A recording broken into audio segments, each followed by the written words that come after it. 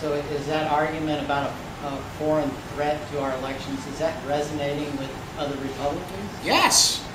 I mean, I've been talking about this, as you know, and a few people know, since 1998, when I first was shown a, a voting machine. I thought that's absurd. I, still, to this day, want to see, you know, besides convicted felon Bob Ney, convicted felon Jack Abramoff, and the Urosevich brothers, who was involved in writing HAVA and why they mandated these machines. I want to know. Because they're the ones who wrote it. And now we're all stuck with this post democracy process.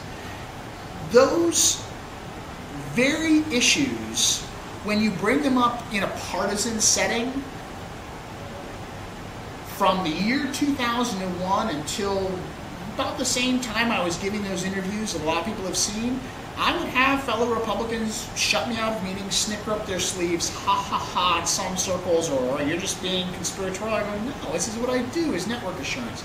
In the last two years, I've been talking to people, I have focused on this going, look, this genie, we don't know who's changing the vote now. These weird results are coming in with locals. Everyone's like, I, I don't know what to do about it.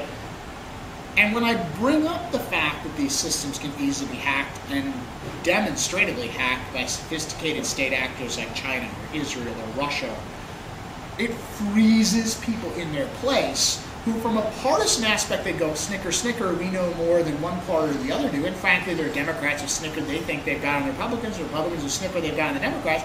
But both parties freeze and go, oh my God, you're right.